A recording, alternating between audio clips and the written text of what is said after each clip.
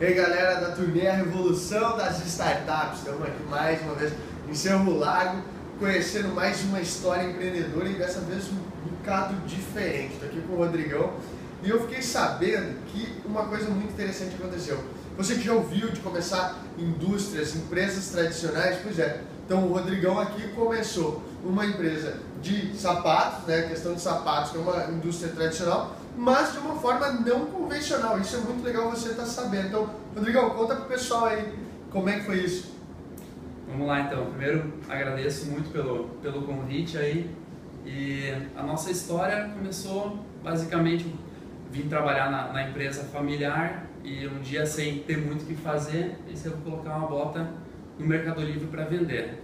Naquela época a gente só trabalhava com botas forradas em lã, que era o, o mix maior que a gente tinha na empresa. E passou uma semana, não vendeu porra nenhuma, fiquei frustrado pra caramba. Daí na outra semana começou a vender um par por semana, depois um par por dia. E assim a empresa foi acontecendo. E com o passar do tempo a gente começou a perceber que pô, as pessoas não queriam só a bota forrada em lã e por que as pessoas queriam a bota foda em lã? A gente começou a perceber que as pessoas iam viajar para um lugar frio, iam curtir lá e elas não estavam comprando só a bota, elas estavam comprando a experiência de inverno delas. Então a Ferro começou mais ou menos assim, uma forma de uma aventura sem ter muito o que fazer, vendendo pelo Mercado Livre. Você veja, galera, que interessante, né? Começou pelo Mercado Livre. Uma coisa muito legal também que o Rodrigo contou é que muitos nãos aconteceram. Então, é, muita gente começou a dizer assim, não, como você vai apostar em bota para o inverno? Né? O Brasil é um país tropical, como assim?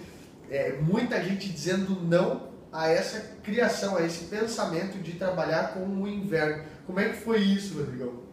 Foi bem louco, porque no começo a gente começou a vender, eu naquela motivação faceiro, né, vendendo produto pela internet, falava com meus amigos, cara, tô vendendo, pensando em fazer assim, uma marca de inverno, os caras me chamavam de louco. Pô, tu quer fazer uma marca de inverno num país tropical? Aqui é todo mundo só quer surf, só quer ir pra praia, ninguém quer bota fada com lã, isso é muito quente para nós.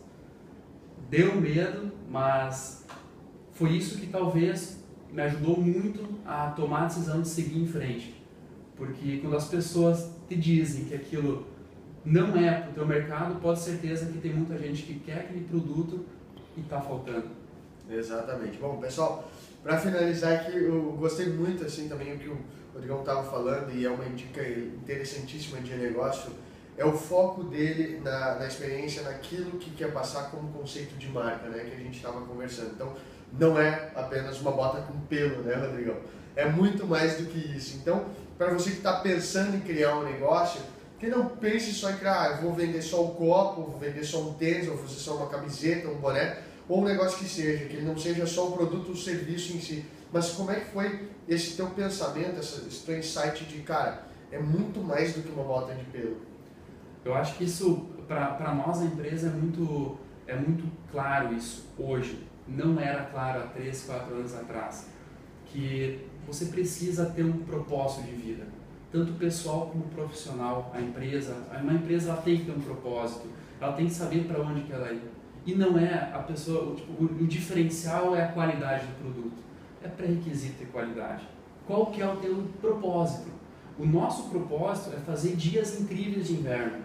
E quando você tem um propósito maior, todos os produtos atrelados àquele objetivo vão vindo. Você não se limita em fazer a melhor bota do mundo, Sim. mas em fazer a melhor experiência para o seu cliente. Se ele, se ele precisa da bota, da luva, do gorro, para se sentir melhor no inverno, Tá aí o objetivo, tá aí o objetivo, o propósito da marca, a proposta. Bom, galera, vocês viram que demais, né? Então a gente tá aqui em celular, muitas pessoas novamente, como eu venho falando alguns dias, ah, mas eu tô aqui numa cidade interior. Pô, começou, viu que dava no Mercado Livre e de repente começou a criar todo um conceito legal que virou muita coisa bacana. Valeu, galera, por estar acompanhando aí a turnê Revolução das Startups galera administradores, magia do mundo do negócio. A gente vai continuar com muito conteúdo bacana. Rodrigão, obrigado, cara. Eu que agradeço. Valeu, galera.